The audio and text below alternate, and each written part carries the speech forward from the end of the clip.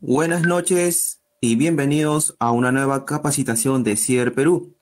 El tema de hoy es soluciones para fierros oxidados, que estará a cargo de Ronald Romero.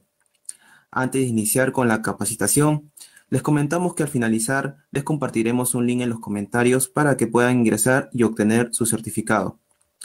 Dicho sea de paso, podrán participar de los sorteos semanales que estaremos realizando. Ahora sí, los dejamos con Ronald para centrarnos en el tema de esta noche y es soluciones para fierros oxidados. Hola Ronald, ¿qué tal? Buenas noches. El día de hoy tenemos la capacitación sobre soluciones para fierros oxidados. Todos los miércoles nos reúne una sola eh, objetivo, un solo objetivo que es poder capacitarnos y poder descubrir cuáles son las respuestas a esas posibles eh, problemas, problemáticas que se puedan generar en nuestro trabajo de, constructores. Y más aún cuando tenemos en uso un material tan importante como los fierros de CIDER Perú. En esta ocasión vamos a hablar sobre las problemáticas y sobre las soluciones para este problema que en viviendas de antigüedad ocasionan daños estructurales como fisuras en las losas aligeradas, en las columnas, etc. Vamos a hablar cómo poder mitigar este problema.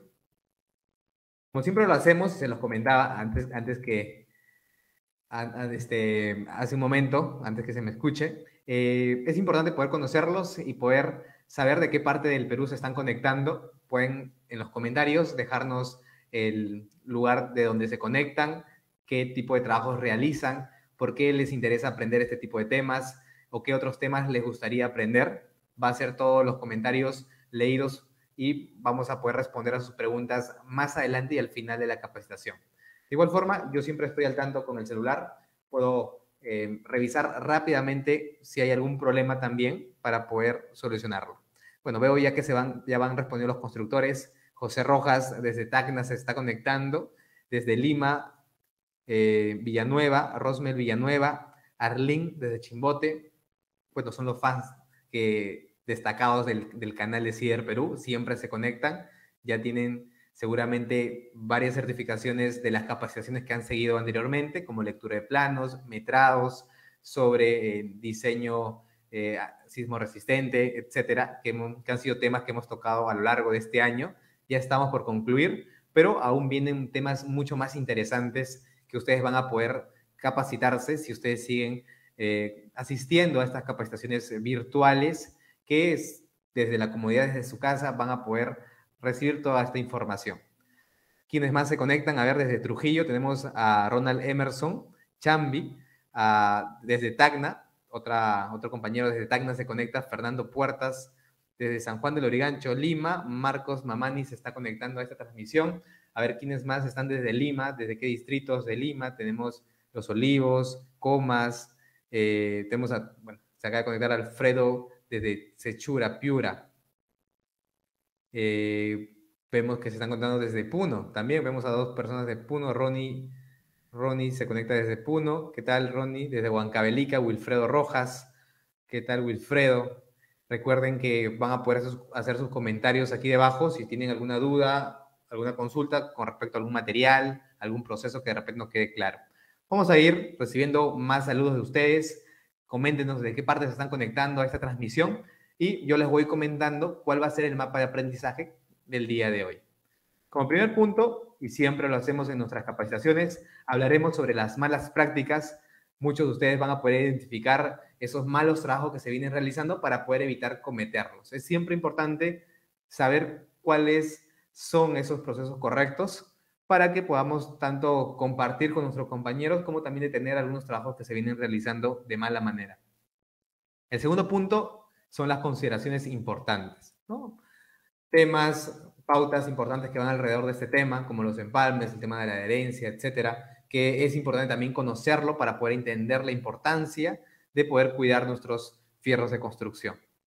Tercer punto, tipos de soluciones. ¿Cuáles son esos tipos de soluciones?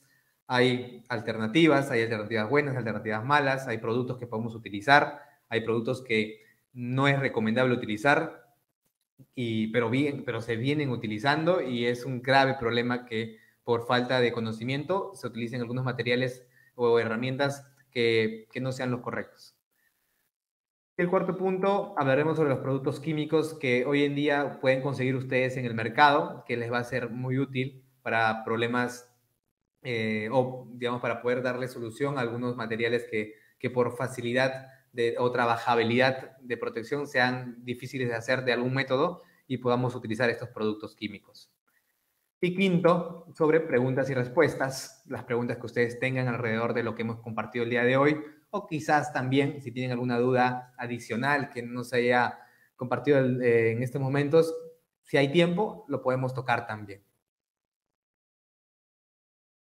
Bueno, partamos con las malas prácticas, que quizás muchos van a poder identificar si lo cometieron o vieron que alguien ha realizado ese tipo de trabajos.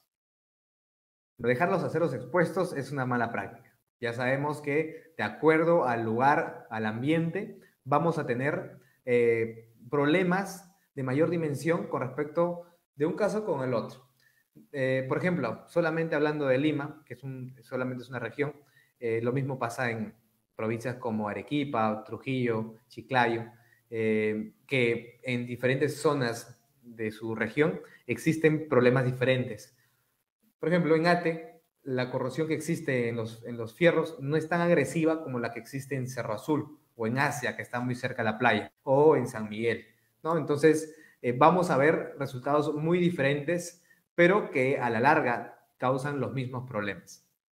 ¿Cómo lo es? Una baja, una baja, baja, baja área de, de acero que trae problemas estructurales cuando se planea la ampliación de estas viviendas. Muchas de estas casas se construyen por etapas, por lo cual dejan empalmes, fierros expuestos para que luego se puedan conectar y seguir con la construcción.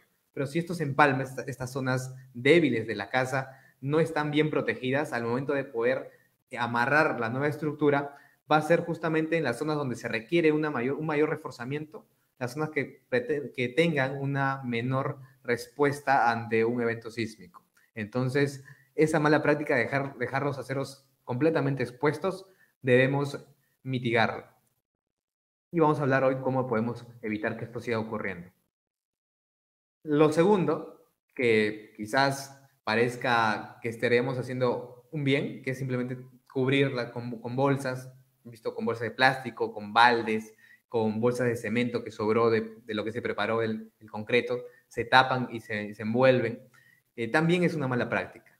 Es una mala práctica porque el, material con el que está fabricado estas bolsas de cemento es un material que absorbe humedad, que si la humedad, de la humedad que se pueda estar en la intemperie pueda estar eh, absorbida por este papel y es el papel húmedo al estar en contacto directo con los fierros sigue transmitiendo esta humedad y sigue provocando que se, eh, la corrosión aumente en este fierro. Lo mismo pasa cuando hay lluvias.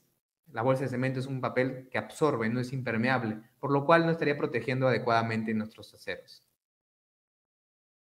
Cubrir con concreto. Es otra mala práctica y que he visto en diferentes videos en las redes sociales que recomiendan bañarlo, cubrirlo con concreto, con aceite, con pintura, eh, para poder evitar que la humedad o que el óxido se comience a generar en la capa superior de nuestros fierros de construcción.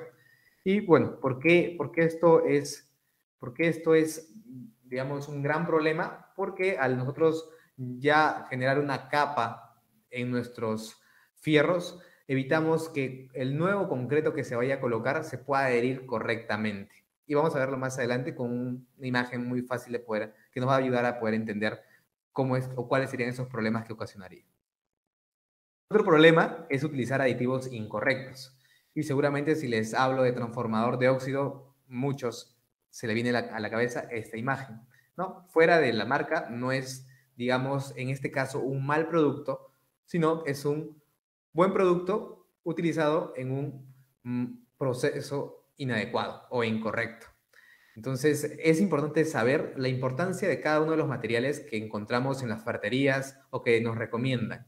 En la parte posterior de todo material, existen detalles, em, procesos, procesos, digamos, para utilizar ese tipo de materiales y es importante leerlos y saber con qué material es compatible y para qué usos son ese tipo de materiales. ¿no? El transformador de óxido es un gran material, pero para elementos no estructurales. Como por ejemplo si ustedes quieren pintar una puerta, pueden utilizar este transformador de óxido y transformar ese óxido que de repente no quieren lijar o que es muy difícil de poder lijar y que si ustedes pintan encima de ello, posiblemente la pintura reviente y siga con el mismo problema.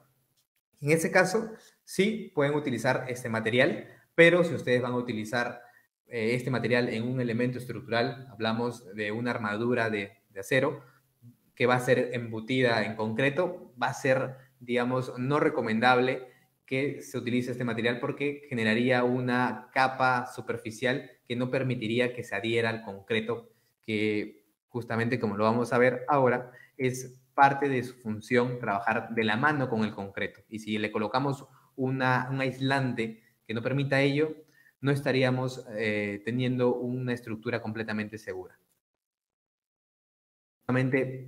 Problemas que se generan es la falta de adherencia. Si ustedes eh, colocan un material que no permita adherir el nuevo concreto, va a ser justamente por donde pase el, fierro, por donde se van a generar ese tipo de fisuras que ustedes pueden ver en esta parte de aquí. Voy a ponerlo con un color para que se pueda ver. Les comentaba de que cuando nosotros colocamos un material encima de nuestros fierros, puede ser, he visto todo, de, todo, he visto que le han puesto de todo, cemento, agua con cemento, le echan mezcla, eh, le echan eh, aceite quemado, eh, pintura, agarran un spray y comienzan a pintarlo. Todo ese tipo de materiales lo que genera es una capa superficial, como les comenté, es lo que se va a generar justamente por donde está ese fierro que no se ha adherido al concreto. ¿No? El concreto se está separando. Eso muestra de ello son esas fisuras. Y el otro problema, cuando colocamos o revestimos de un material que no es impermeable, como la bolsa de cemento, lo que provoca, he visto que le ponen solamente los tubos, ¿no? Dejan los tubos puestos, piensan que eh, porque está cubierto con el tubo no va a pasar nada. Pero dentro del tubo, si no se ha impermeabilizado, no se ha sellado bien esa parte, existe esta humedad que, bueno, se lo he puesto como imagen a grosso modo para que se pueda ver se puede entender ah, mejor, ¿no? Que la humedad, como ven, está en el ambiente. Algunos lo vamos, como en distritos como Chorrillos, se puede ver toda esa humedad, pero en otros distritos no se siente tanto, pero existe esa humedad, ¿no? Esa humedad está en el aire y eh, esa humedad penetra por donde existe aire. Y si nosotros tenemos un espacio entre el fierro y el material que lo protege, que vendría a ser una bolsa de plástico, bolsa de cemento, dentro de, ese espacio se concentra esta humedad que sigue atacando a nuestro fierro de construcción. Es por ello que nosotros, para poder eh, tener en consideración darle una buena adherencia a nuestra estructura, debemos proteger adecuadamente nuestros aceros. Y justo una, eh, un dato que es muy importante saber qué es la adherencia y para qué sirve la adherencia. Si nosotros mantenemos una adherencia entre la barra de acero, ¿no? que vendría a ser esta barrita de acá, y el hormigón, que es lo que embute a todo este fierro, lo que estamos eh, generando es que ambos puedan trabajar de la mano. Y recuerden, los aceros, lo que da un beneficio a nuestra estructura es que le aporta esa flexibilidad que necesita para poder soportar estas cargas que durante su vida útil soporta, ¿no? Al nosotros agregar una cama dentro de una habitación, estamos agregando peso y la estructura siente ese peso para que pueda adaptar, adaptarse a ese peso, necesita del refuerzo adecuado, o sea, de la cantidad de fierro adecuado en la estructura, sea en la losa o sea en las columnas. En cada momento, en cada vida, en cada eh, tiempo de vida útil que tiene nuestra estructura, sufre diferentes cargas en diferentes direcciones. Y nuestros fierros ayudan que esas cargas se puedan eh, recibir de la mejor manera. Si nosotros, como lo menciona acá, tenemos eh, un, peso vertical que va a provocar que nuestro concreto se intente fracturar y nuestra barra, de, barra corrugada de, acero no está adherida a nuestro concreto, el concreto se va a fracturar y nuestra barra no va a ayudar a poder controlar esa fractura, ¿no? No va a poder ayudar a poder disminuir que existen esas fisuras. Y es por eso que nosotros debemos mantener y debemos conservar la adherencia de nuestros fierros. Y por tal, ustedes ven que las barras son corrugadas, ¿no? no son lisas, sino son corrugadas. justamente esas corrugas sirven para que pueda adherirse adecuadamente al concreto. El otro punto son los empalmes. Tener los empalmes adecuados va a ser punto clave para que la transferencia de cargas y que se entienda como una estructura monolítica, una sola estructura, no, no empernada, no anexada como son las estructuras de acero quizás, puedan trabajar adecuadamente y si nosotros mantenemos el diámetro adecuado de, estos fierros eh, justamente en estos empalmes, vamos a poder darle una mayor durabilidad a nuestras estructuras. Vemos aquí, eh, ya en capacitaciones anteriores hemos hablado sobre el tipo de empalmes, saben que existe empalme por traslape, empalmes mecánicos, eh, que actualmente no se vienen utilizando muy a menudo en obras menores, en obras mm, grandes, sí, normalmente por la cantidad de, fierro que se tiene en una estructura, necesariamente se utilizan empalmes mecánicos, em, pero en gran mayoría de las obras utilizamos em, traslapes, empalmes por traslapes, ¿no? Se traslapan dos fierros. Pero si el fierro que está esperando la nueva estructura se ha corroído, tiene ya un gran avance de pérdida de material, va a ser muy inseguro poder empalmarlo con la nueva estructura. ¿no? En ese caso, lo que se va a recomendar es cambiar toda esa, todo ese fierro para poder mantener ese diámetro que se requiere en esa sección de la estructura. Eh, bueno, eh, es importante el tema de los empalmes. Vamos a ver otro punto. La ubicación también, de acuerdo a las zonas, eh, de acuerdo a dónde, dónde se ubique tu estructura, dónde se encuentre esta columna, este fierro expuesto, hay que tener medidas de control, ¿no? medidas eh, de protección. Justamente más adelante vamos a ver sobre las diferentes soluciones y las cuales se pueden mezclar, se pueden utilizar en combinación de acuerdo a la agresividad que se pueda tener en el ambiente. Y eso ya depende mucho de lo que nosotros podamos analizar, justamente de los puntos que yo les comento, ¿no? De lo que puedan ustedes tener en el ambiente, de la humedad que se pueda tener en el ambiente, en cuánto llueve en el lugar, eh, se encuentra en una zona donde corre mucho viento también, el salitre, en qué tanto afecta al concreto que está revistiendo esta estructura, etc. Entonces vamos a ver todos esos puntos más adelante. Bueno, para poder entender un poco de, de qué nos estamos protegiendo, es también importante aprender qué es el óxido, eh, cómo se genera y, qué, y por qué se genera. ¿no? El óxido es un fenómeno natural en el acero cuando se exponen a grandes cantidades de humedad o a una baja humedad, quizás las causas sean menores, mientras la humedad sea mayor, eh, la agresividad de la, que se genere en la parte superficial también va a ser mucho mayor y más violenta. Esta reacción se genera en contacto del acero con el óxido, ¿no? generando un oscurecimiento y daño superficial que posiblemente ustedes han visualizado como en la imagen. Esto se genera más aún cuando eh, se pierde la parte protectora de nuestros fierros, que es conocida normalmente como calamina, que es una pequeña, un pequeño filamento que reviste nuestros fierros, intentando proteger a, este fierro del, de la intemperie. Pero al momento de trasladarlo, de moverlo, este filamento es tan fino que se va perdiendo y por esos lugares es por donde va ingresando el óxido y va comenzando a abarcar más espacio dentro de nuestros fierros. Esas son las problemáticas que normalmente tenemos en obra. Eh, es importante siempre el cuidado y, el mantenimiento, el cuidado y almacenamiento, perdón, de los materiales de la obra, tanto el fierro como el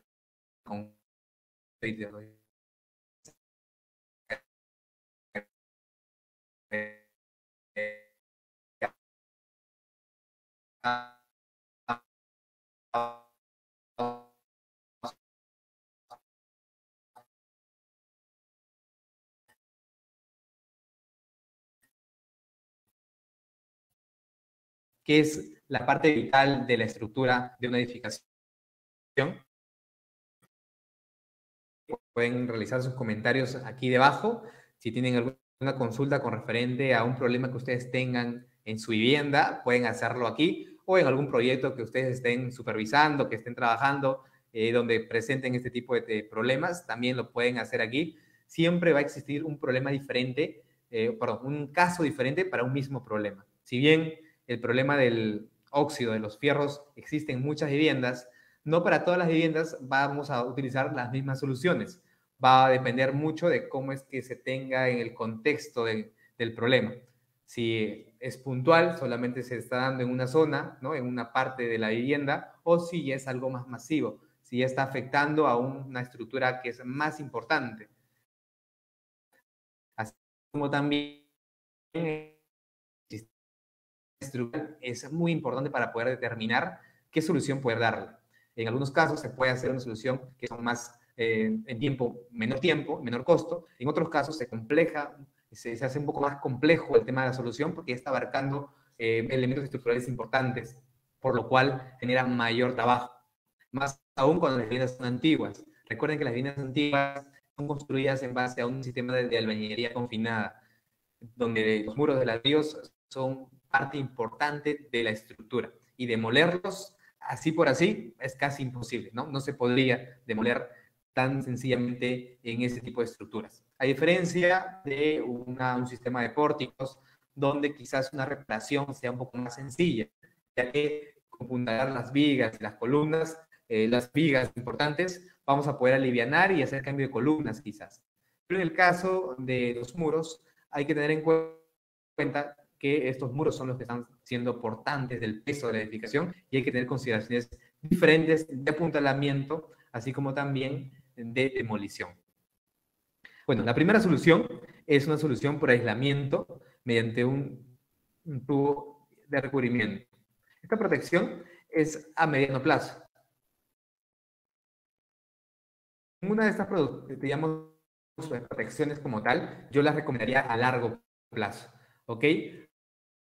Porque eh, recuerden que eh, e, estas protecciones con el tiempo, con, la propia naturaleza, las lluvias, los vientos, etcétera, va, va a fallar, o sea, va a tener que hacer un mantenimiento, ¿no? Limpiar, ver qué pasó, si hay algún problema, si, si por ahí dejaste un, hueco por donde está ingresando un aire externo con la humedad y está provocando también la corrosión. Entonces, siempre vamos a tener que nosotros darle una revisión, una supervisión de cómo se está comportando esa protección que le estamos dando, si se la ha dado adecuadamente o ha habido alguna falla en alguno de los puntos. Recuerden que en, en, una vivienda podemos tener alrededor de 10 a 20 columnas, la cual tendrá una cantidad de fierros y de acuerdo a la protección que vamos a ver, puede fallar uno de esos fierros su protección y va a estar generando ese, ese problema. Entonces, la supervisión constante siempre va a ser importante. El primer punto va a ser retirar el óxido excedente y limpiar los aceros a tratar. ¿no? Ahora, esta limpieza puede ser simplemente con un cepillo ¿no? o con una lija bien suave. No hay que desgastar ni buscar el brillo de estos fierros. Simplemente retirar el po, eh, de repente eh, dejaron un tiempo así eh, sin, con, con, este problema, dejándolo libre, sin ningún recubrimiento, o hubo quizás se, le, se le manchó un poco de cemento al vaciar la columna, ¿no? al vaciar el techo. Entonces, limpiar eso sí también es importante. Entonces, pueden hacer esa limpieza con una lija muy suave o con un cepillo de fierro. ¿no? Limpiar pues, esos material que está expuesto, que está suelto. ¿No? Recuerda, todo el material suelto, ¿no? Más, más no el material que está pegado al, fierro. Eh, es el, primer punto, la limpieza. Luego de ello, podemos colar un tubo como este, ¿no? Esta solución, por ejemplo, se presta muy bien cuando estamos en una losa. Cuando estamos en una losa horizontal, podemos pararnos, podemos estabilizarnos, podemos utilizar esta solución. Colocamos un tubo, como lo ven en la parte de arriba, se coloca un tapón, se sella muy bien con pegamento para evitar que por ahí pueda ingresar la humedad. Y en la parte inferior, que vamos a ver más adelante, se coloca un concreto pobre para poder recubrir toda esa zona y por la parte inferior no pueda ingresar la humedad. Esto, digamos, es la solución número uno, ¿no? Como ven, si ustedes están dentro de esas consideraciones y dentro de esas facilidades de trabajo, lo pueden hacer. Ronald, ¿qué tal? La protección es a mediano plazo. Dime. Está, está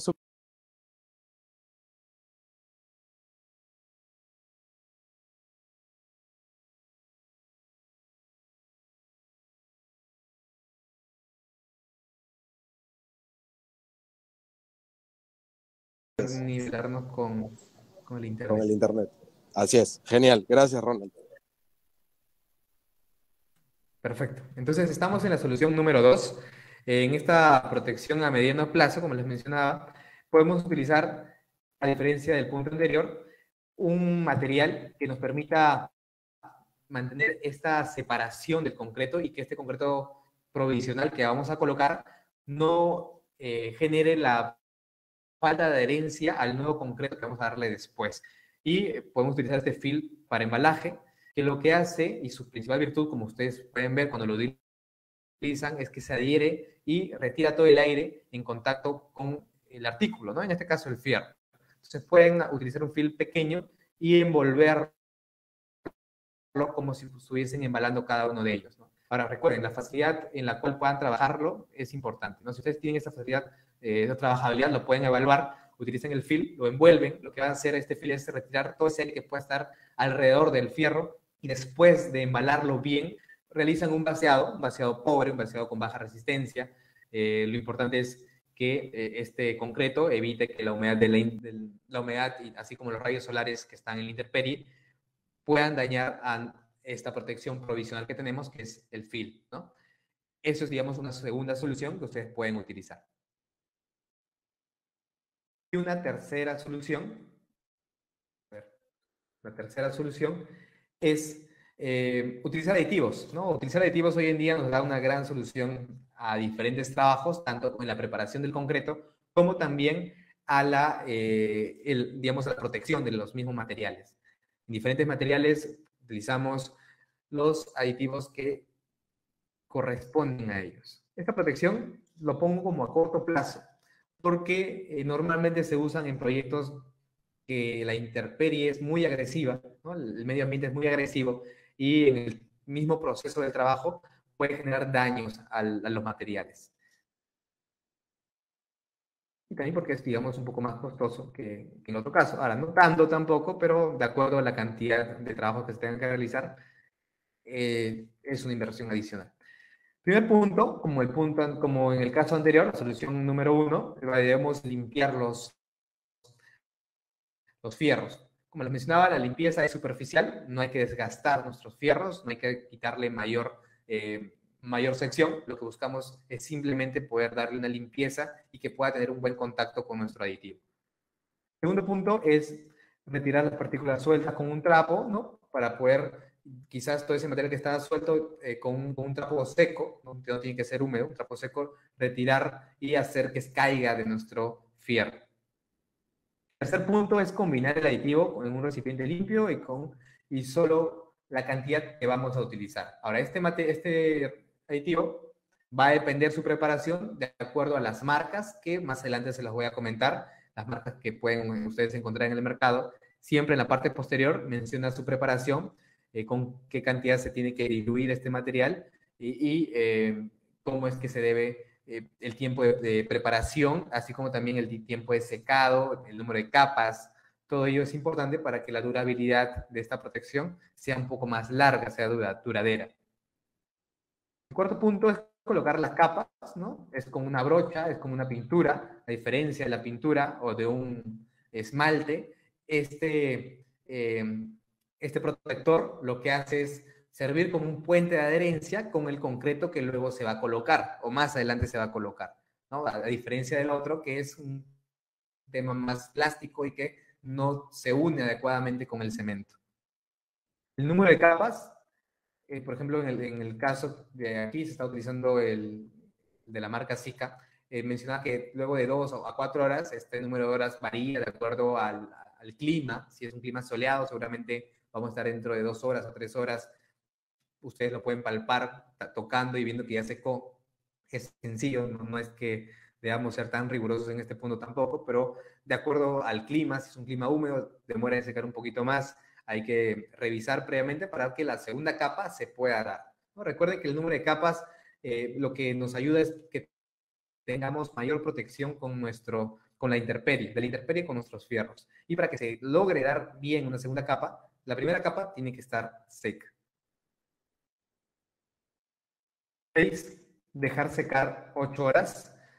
Eh, bueno, dejamos secar, ya después de dejar secar vamos a poder obtener un resultado como este que eh, prácticamente ya estaría eh, sin ningún riesgo de que la humedad pueda ingresar a nuestros aceros. Les mencionaba, vamos a ver sobre los productos. Eh, uno de los productos es este de aquí, aditivos especiales. Ellos fabrican aditivos inhibidor de corrosión, ¿no? Lo que hace es poder eh, evitar que exista esta corrosión en nuestros aceros de refuerzo y están desarrollados con materiales, como en este caso nitrito de calcio en peso, está formulado para cumplir la norma ASTM 494 tipo C, aditivos acelerantes, ¿no? Habla de también esto de su comportamiento que va a tener al momento de conectarse con nuestro concreto. Como ven, es un material que que está diseñado y que está formulado para utilizar en acero de refuerzo del concreto. Otro material que ustedes pueden encontrar y pueden buscarlo en internet es Cicatop Armatec 110 Eposen, de cubrimiento anticorrosivo y puente de adherencia. Puente de adherencia, justamente esta palabra de aquí, es, lo, es una de sus funciones importantes para poder conectarse adecuadamente con el nuevo concreto elaborado a base de resinas epóxicas modificadas y cemento, de tres componentes. Como ven, vienen tres componentes que se mezclan y eh, se utilizan, se colocan con una brocha. Y por último tenemos en la marca Chema también inhibidor de corrosión, es un aditivo líquido inhibidor, ¿no? como les mencionaba, de corrosión del acero de refuerzo del concreto armado. Al igual, es importante esto, este punto de, poder identificar muy bien, porque ustedes pueden ver el recipiente y el recipiente es igual al otro material que vimos hace un momento. Es prácticamente el mismo, ¿no? Viene un galón, pero el nombre es diferente. Y también el uso, ¿no? Es para concreto armado.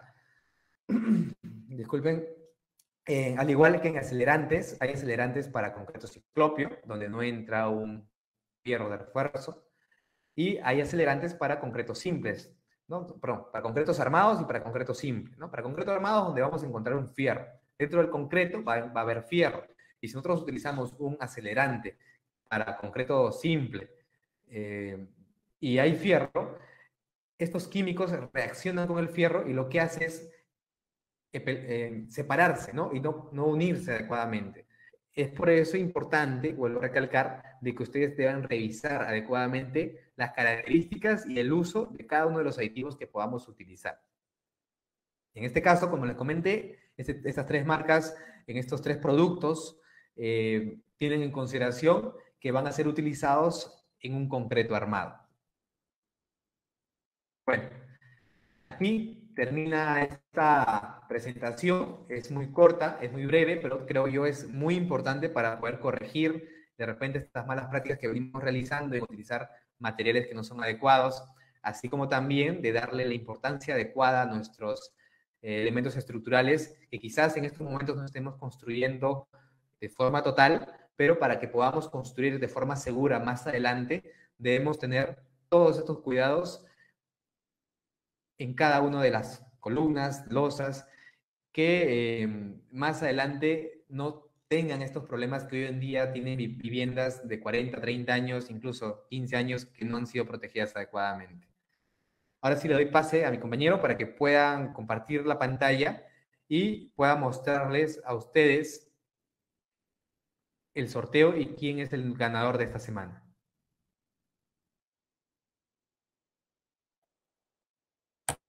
Ok, gracias Ronald por la presentación de esta noche. Sin lugar a dudas ha sido muy buena el tema de hoy. Eh, bueno, como bien lo comentaste Ronald, eh, vengo a... Ahora viene la etapa de sorteo. Voy a compartir la pantalla. Bien, como saben, eh, CIDER Perú premia las ganas de los participantes que se conectaron a esta capacitación y que desean seguir aprendiendo. Es por ello que hacemos sorteos semanales y las personas que participaron en la capacitación de la semana pasada estarán entrando al sorteo de esta noche, que es una tablet Lenovo M8.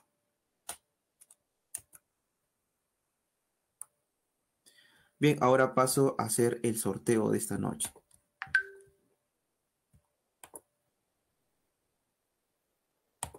Y el ganador de esta noche es Elder Bartolomé Ramírez Vega. Felicitaciones, Elder. En breve nos estaremos comunicando contigo para coordinar la entrega de tu premio. Eh, repito una vez más, el ganador de esta noche es Elder Bartolomé Ramírez Vega. Bien, ahora volvemos con, la, con los slides.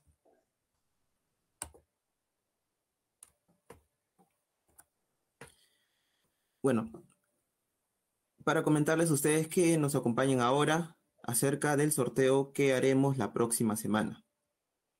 Para aquellos que completen el, formulario que compartiremos ahora en breve, nomás en unos minutos, en los comentarios, se, se darán el premio de eh, el premio de la próxima semana, que sería un taladro repercutor eléctrico Bunker. Lo único que tienen que hacer para ganar este, este premio es completar este formulario que daremos a continuación en los comentarios y así podrán participar de este sorteo. Ahora la pregunta es, ¿por qué elegir Cider Perú? Punto número uno, es el fierro de construcción Cider Perú. Es producido especialmente para las exigencias de la construcción en nuestro país. Cuenta con corrugas que permiten una mayor adherencia al concreto. El fierro de construcción está por encima de las tolerancias mínimas especificadas en la norma técnica peruana y la norma técnica internacional. Cuenta con la marca de garantía CIDER Perú, que tiene más de 65 años en el mercado peruano y con el respaldo de más de 120 años de Gerdau. Somos la única siderúrgica en Perú acreditada por el INACAL como un, como un organismo de inspección. Tenemos un laboratorio de ensayos acreditado por el INACAL que nos permite emitir informes de ensayos garantizando la confiabilidad de sus resultados. Y por último, cuenta con las certificaciones internacionales ISO 9001, ISO 14001 e ISO 45001. Bien, ahora lo que muchos estaban esperando es y es, ¿cómo puedo certificarme?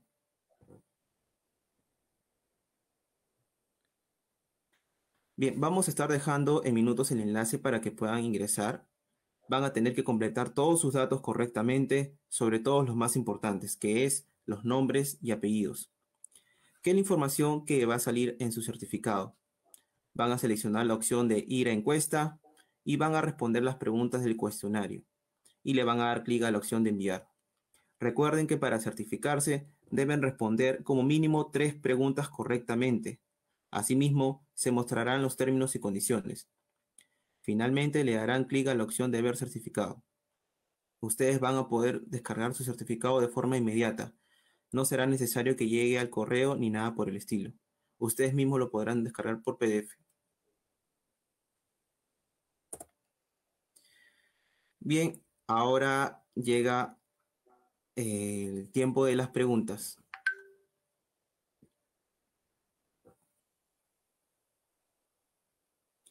Y la pregunta sería, bueno, la, primera pregunta sería de parte de Amberly Guamán Guamán.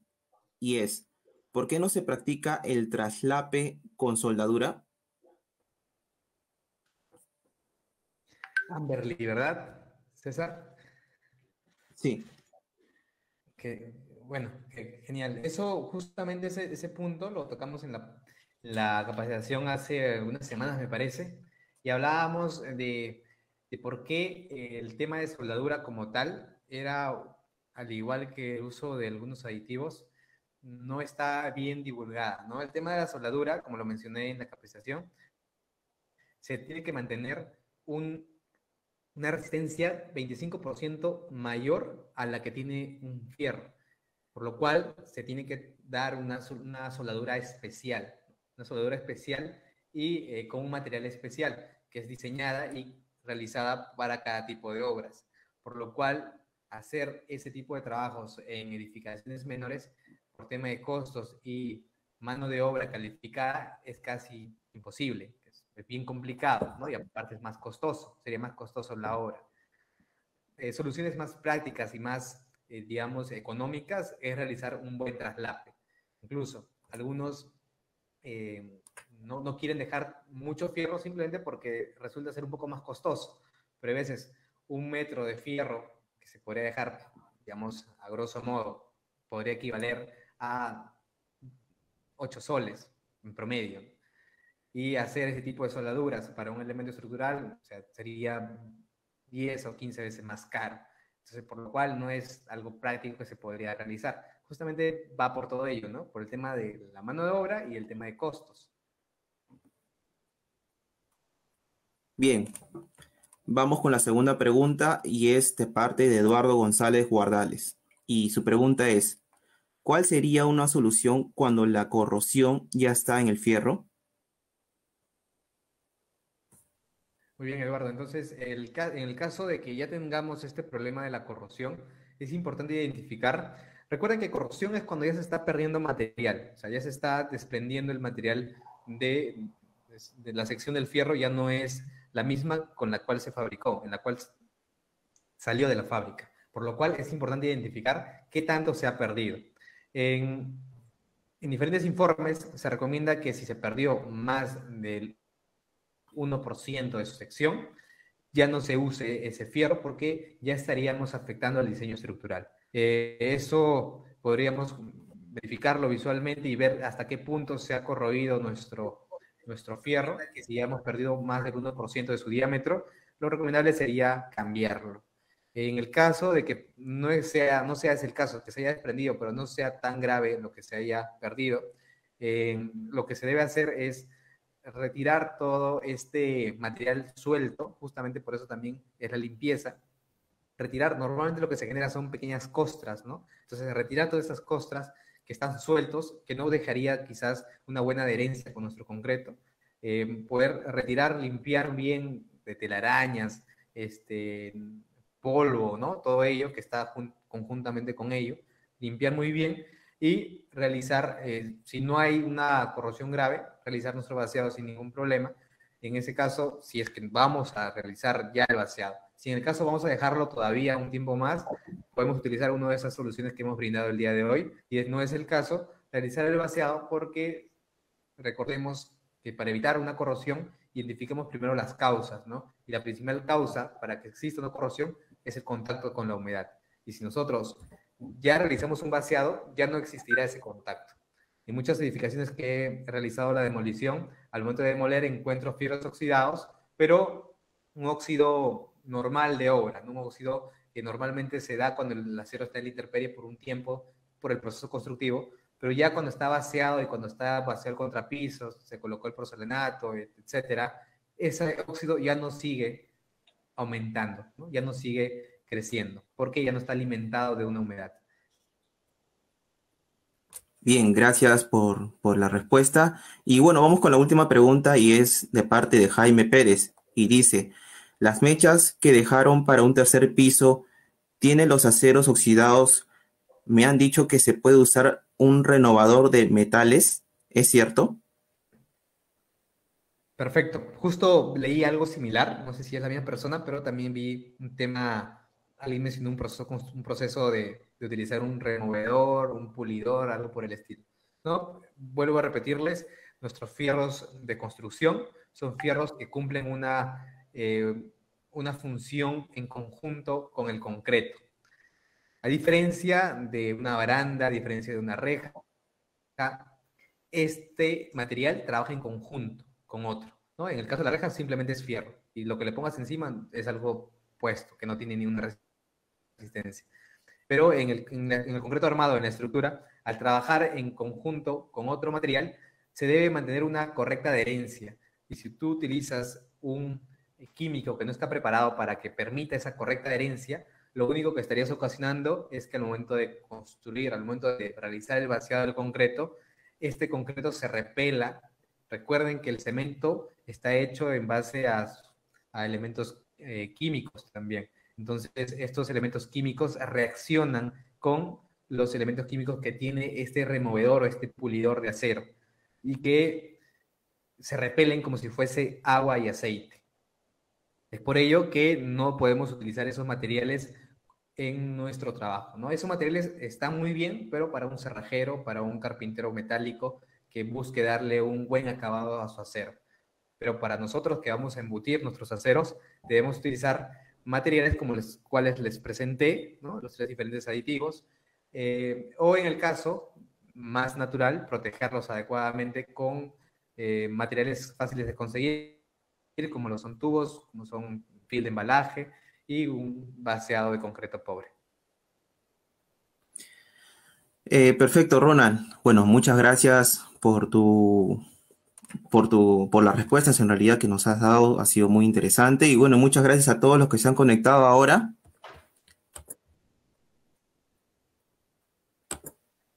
Perfecto, César. Sí, bueno, bueno me, me agradó bastante poder compartir contigo esta primera capacitación que damos juntos. Eh, espero que se haya podido entender todos los puntos que hemos tocado el día de hoy. Y recuerden, constructores, que pueden comentar eh, qué tipo de temas les gustaría que podamos tocar más adelante. Todavía no acaba el año, se vienen más premios, más temas, que seguramente va a hacer que estas, estos miércoles de capacitaciones se vuelvan ya un día habitual donde todos podamos aprender algo nuevo cada día. Sí, eh, de hecho sí, muchas gracias por mencionarlo, Ronald. Sí, de hecho, si, si muchos de los que están aquí desean eh, que se toque un tema para más adelante, lo pueden dejar solamente en, en la caja de los comentarios y nosotros lo tomaremos en cuenta. Bueno, Ronald, ¿algo más que quieras añadir antes de acabar esta capacitación? Bueno, eh, recordarles o invitarlos también eh, a los constructores que son de Chiclayo.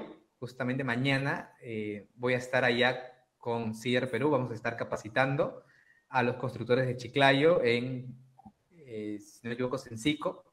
Eh, va a ser una capacitación muy temprana, a las 8 de la mañana, a las, no, perdón, a las 10 de la mañana, me parece. Eh, así que estén atentos a las redes sociales de CIER Perú, que, que vamos a estar compartiendo con ustedes una capacitación sobre lectura de planos estructurales. De igual forma, agradecerles por el día de hoy y espero verlos en la siguiente capacitación. Ok, Roland, muchas gracias y muchas gracias a todos los que participaron ahora. Buenas noches. Vemos.